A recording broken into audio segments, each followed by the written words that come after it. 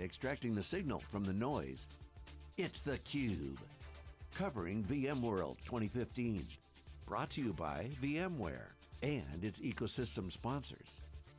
And now your host, John Furrier.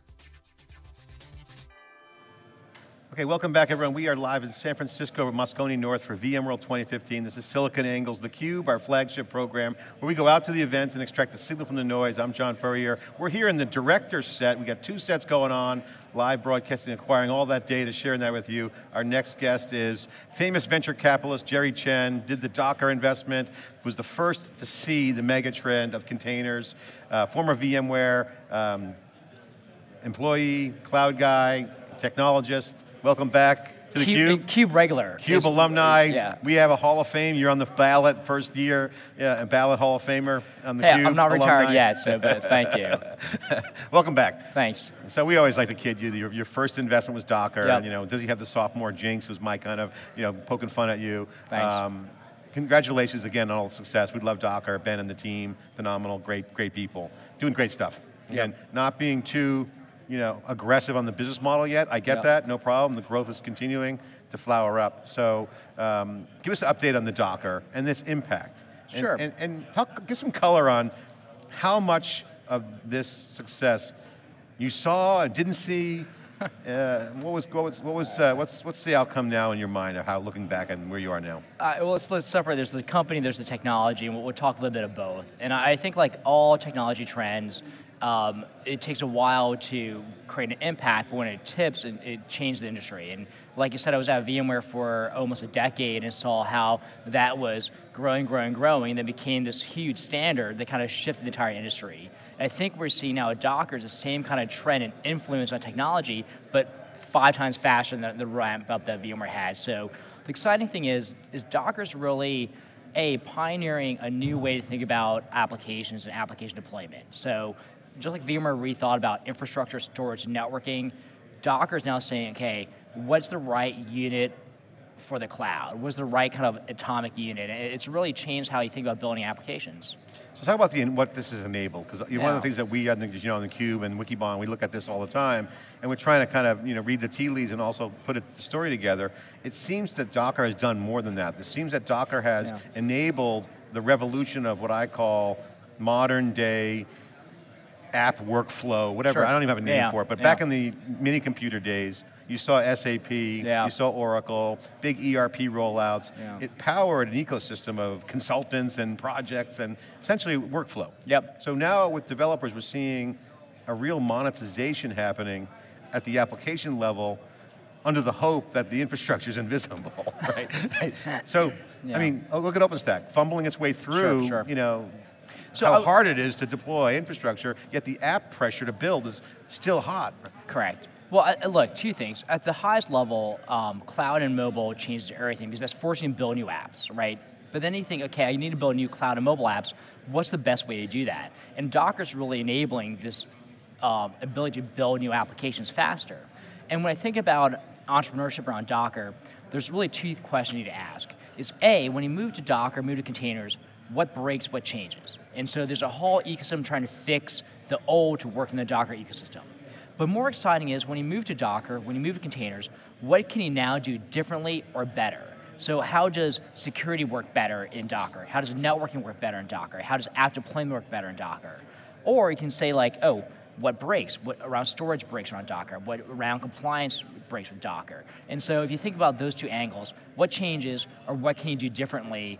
And as an entrepreneur, it's an exciting time because you kind of pick and choose um, yeah. how you want to play, and there's plenty of companies to be created. And the, and, the, and the growth in the market on the deployment side's there, as I mentioned. Correct. So let's talk about what, what breaks and what kind of uh, changes. Um, hybrid cloud, big buzzword, but really cloud native is probably taking the place of sure. Docker and Kubernetes is probably the most overused buzzword. What the hell does cloud native mean? Sure. One. And then, but if let's talk about If you're born that. in Canada, are you cloud native? cloud native is a great term, but let's talk about cloud native. So you have the hype, the web scale guys. Yeah. You know, Yahoo, Google, yeah. Facebook. These guys have been living DevOps from day one. Yeah. And then you have the emerging startups, Box, Dropbox, you name those companies, Netflix. Yeah. They're cloud native because they're born in the cloud. Yeah. Then you got everybody else. Yeah. The legacy How do you guys see that evolving? And when you guys have that board, the board meeting in Docker, because you have people who want to go faster, but have that legacy, they don't have that clean Yeah. sheet of paper. Yeah, I think, I mean, it's such an interesting thing to say cloud native because we're, we're dealing with a generation of um, college grads and engineers and developers and companies that, like you sort of born in the cloud. They've never been inside a data center. They've never racked a server or set up a SAN. And when you think about what changes if they, they don't even know what a physical switch is, that's cloud native. And, and when you kind of put yourself in those shoes, that's a huge paradigm shift. So now you're looking at your, your I don't know, what's right now is an immigrant to the cloud, right? You're looking for the passport to the cloud and, and your, your, your ticket. But um, you probably don't want to be a, uh, unless you want to move to the cloud, that's one option, and you want to go from on-premise completely cloud, or this concept of like this hybrid cloud, and, and I think a lot of noise is lost in that word hybrid because Yeah. it implies that you want to move apps back and forth or some workload spread, and I, I think what we're seeing with most enterprise is there's a category of applications that'll probably never go to the cloud, that's fine, but there's a category of applications they're building that are cloud native. They're built first for the cloud, on the cloud. And mistake one was trying to build new apps with old tools, right? That was that was a fail. And what happened, Docker, and these new technologies came around, like MongoDB, new storage, new databases, like Redis, for cloud native apps. Second paradigm is okay, I built new stuff in the cloud with new technologies. That's the right answer, right? The fail was old technologies. Yeah. Number two, it's got an existing app. I want to move it to cloud. What do I do? Do I rebuild it, right, from scratch? And, and you know, there's advantages to doing that. And sometimes some apps you should rebuild. Um, do you wrap it up in a VM or a container, kind of just lift and shift it to the cloud, be it public cloud or private cloud? And then the third is what category applications probably don't go in the cloud right now or shouldn't in the near future, and how do I leave it on premise, secure it, give me some of the agility and some of the goodness I get around the cloud, but with my, my legacy technology. What do you think about hybrid cloud? What's your take on that? I mean, I, we, I asked every guest this past week, since OpenStack and, and LinuxCon last week or two weeks ago, what's, what, does hybrid cloud exist? Is it an outcome? Is it a product? I mean, you can't really buy hybrid cloud. I mean, what does it look like? Is it the tooling? What is, I, I, you know, you don't get the right answer, you don't ask the right question. And I think the right question is, you know, what is the right definition of hybrid cloud? And, and if you ask um, any of your guests or any 10 folks attending here, you'll probably get 12 different answers of Yeah, what hybrid true. cloud is. And I, I think hybrid cloud is kind of what you want the cloud to be. And that's not a wrong answer, right? Because Yeah. in many ways, it's like, um, why should any single vendor or company impose this is what cloud is, this is what hybrid cloud is on you? Why don't you, as an engineer, you as a developer, say, you know what, this is how I define hybrid cloud, this is my cloud. And it, it, for some, it's public private. Some is like uh, my own cloud, but it's hosted in a rack space. Some is a single application spanning multiple clouds. Maybe my hybrid cloud is, is Azure and Google and Amazon. That's three public clouds, but it's my hybrid. And so, um, I think question one is what do you define hybrid? And I think it's fine for everyone out there to define hybrid in a different way it just shows you what we're really seeing this this um, you know Cambrian explosion of, of new ways to think about apps and architecture, and that's a good thing. well, I think the key word in that, first of all, great, great summary. I love, I love that answer.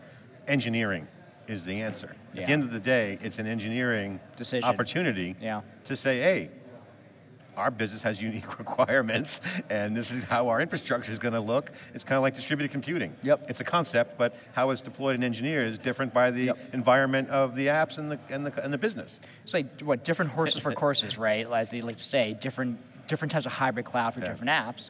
And and I think what you're seeing, there's a generation of new technologies out there, like Docker, um, that are enabling you to build the cloud you want. And um, that's probably a more profound question of, of what does that look like.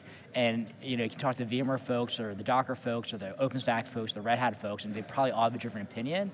But I, I get excited because I, I go to engineering meetups all the time. I talk to how they build their apps, and even out in Silicon Valley, between you know Facebook, Google, Medium, Twitter, the, the way they build their apps and their clouds are slightly different too. Yeah. It's agile is defined by the personnel, the environment. Great answer. Oh, I got to ask you about. Um, I was on I'm emceeing a, uh, a launch last night, company, and we were talking about the the cartel of storage, EMC. um, you, I know you guys are investors in Pure. Yep. Um, but we were speculating when was the last breakout storage company since NetApp? Yeah. Pure now is looking good off the tee, as they say. Um, still, incrementalism has always been their answer, but what's game changing Yeah. in storage? You got networking with NSX throwing some numbers around, like it's pretty impressive, looks pretty good, sounds good, but again, that's VMware articulating it. But what are you seeing happening that's organically coming out of the market? Not vendor defined. Sure, unified and software defined are vendor terms. Sure. Yeah. Hyperconverged was not a vendor term. That was a kind of came out of the engineering community. So what are you seeing now that's bubbling up that's not a vendor driven Yeah. key trend? Okay, I think in storage, there's probably three things to track. One is um, the storage medium, disk versus flash, um, and the server-side flash, array flash, um, uh, storage class memory. So you, there's a whole bunch of interesting stuff coming from Intel around storage class memory. So one is think about the medium. Number two is the architecture, hyperconverged, array, server-side, cloud-based, et cetera, right? So I think that's the, that's the second thing to think about. The third thing is, is kind of location. Is it private cloud and appliances? Is it software only? Is it like a hosted service, right, only in the cloud? And so you think about those three axes, like kind of pick and choose, you're seeing a bunch of companies either go deep on one of those three things, we're going to be pure, the flash storage company. Doesn't matter where the flash is, we're making a bet on that wave is going to swamp EMC and the rest. You have folks that kind of make a bet around, okay, next gen um, server side or next gen array base. And you have a whole generation of companies saying we're going to be the storage service in the cloud, or storage service on premise, or storage for for um, solid fire. So I would say if you look at those three trends, you're going to find some some good innovation in each of those. Some some incremental stuff, but also some good innovation. in Yeah, and, and the way you just laid it out was awesome because it, it's complicated. It's not, it's not, you can't just say, I'm betting on that horse. There's a lot of courses and different horses. So Right. Yeah. we don't know what the weather's going to be like depending upon the storage, course. storage is a forty billion dollar industry, and um, it, and it looks Waiting to be disrupted.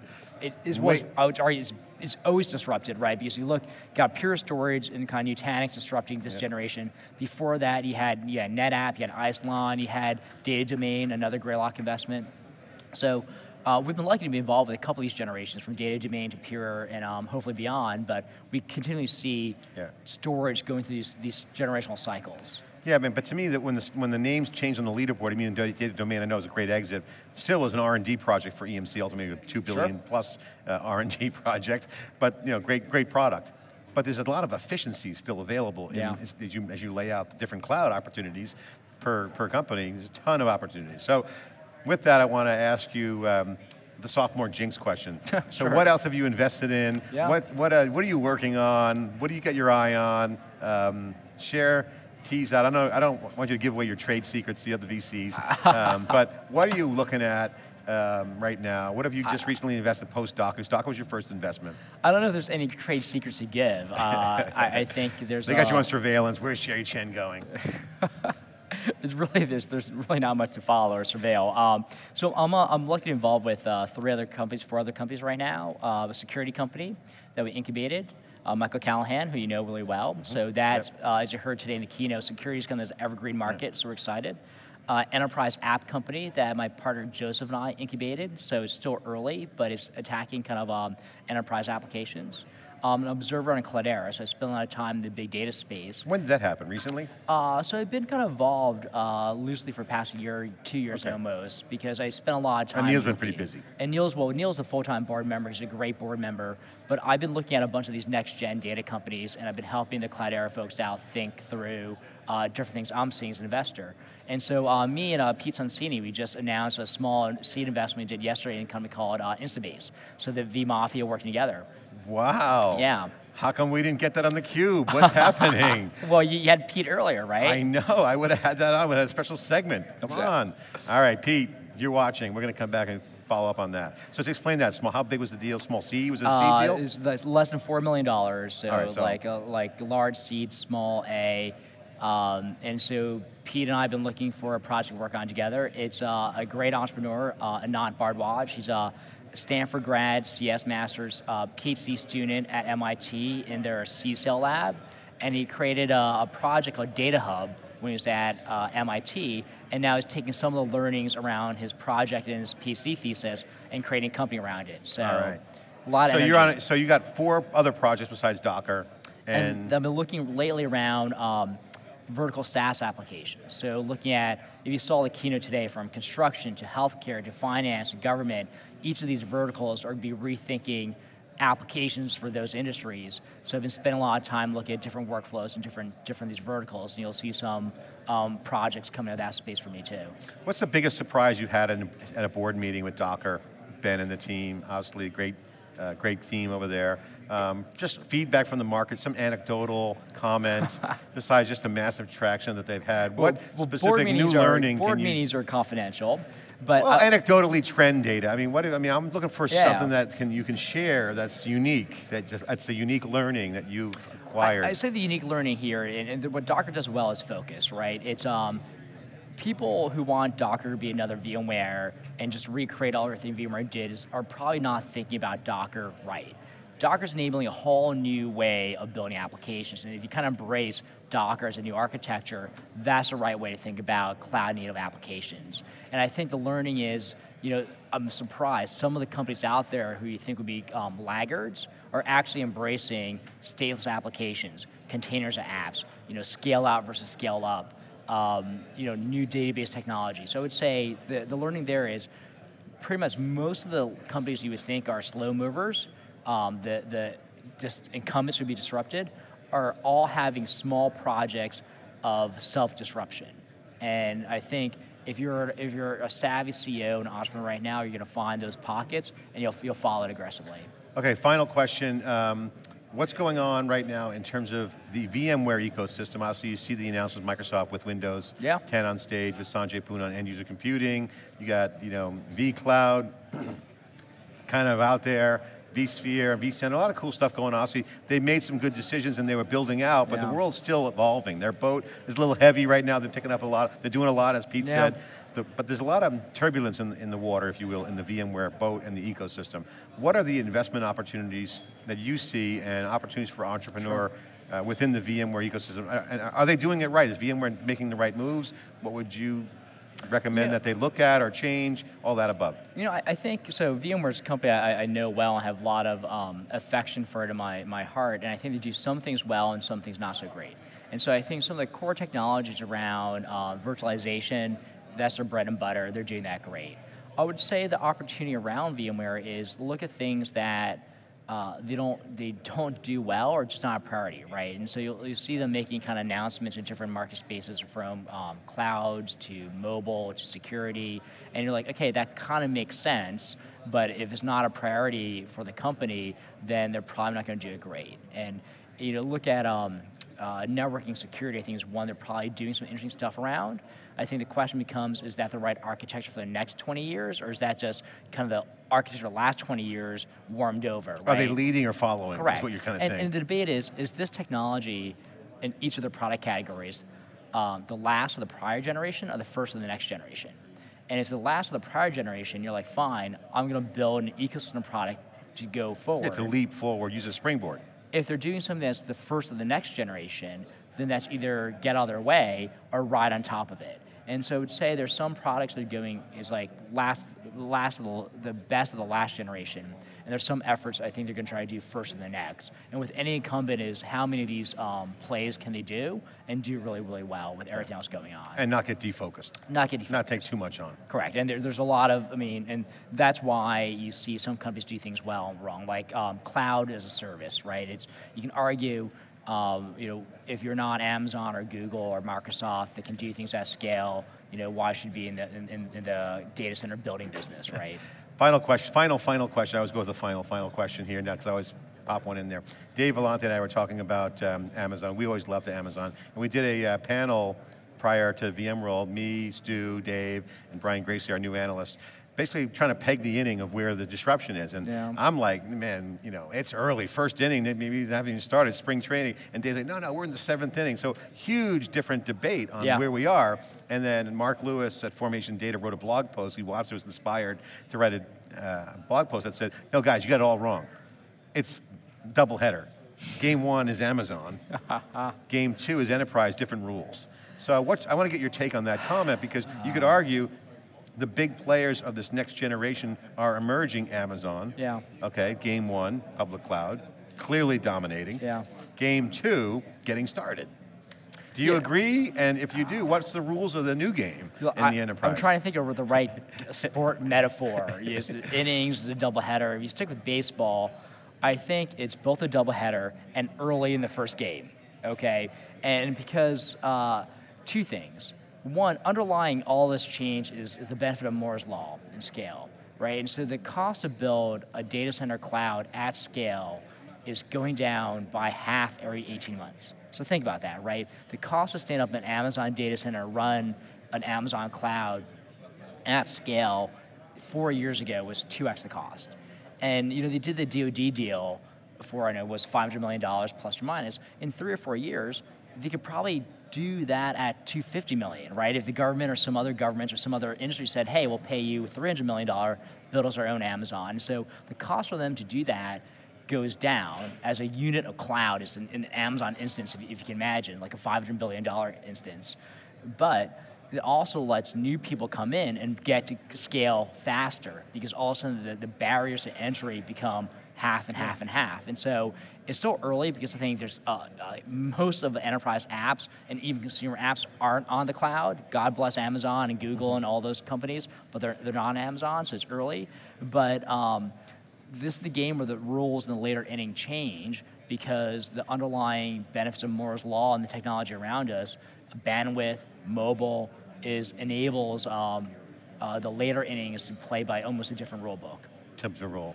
Jerry Chen here, sharing his insights, his observations, his learnings, and also what he's working on as a uh, general partner at Greylock um, partners. Great, uh, great to see you Thanks, on John. the cube. Great to Congratulations have you back. on the sets. Uh, my, my favorite set still, I think, is VMworld Vegas when you were in the big hang space with, the, with huge screens. Yeah, that was So, a good one. That was fantastic. That was the first time we had Frank Slootman on, former Data Domain, uh, friend of Greylocks as well. Um, one of our favorite uh, CEOs out there. Great to see you. Jerry Chen, investor perspective, former VMware technologist, here inside the cube on the director's set, the two set production in uh, Moscone North, VMworld 2015. We'll be right back after this short break.